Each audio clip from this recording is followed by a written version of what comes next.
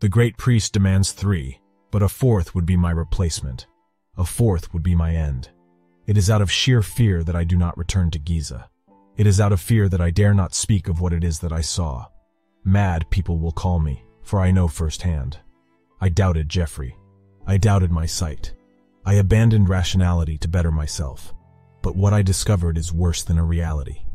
Beyond the great archway, they call to me in my sleep. The great priest speaks to me in dreams, demanding that I finish my assignment. I cannot. But I dare not doubt, and often dare I say his name, Neferkahor.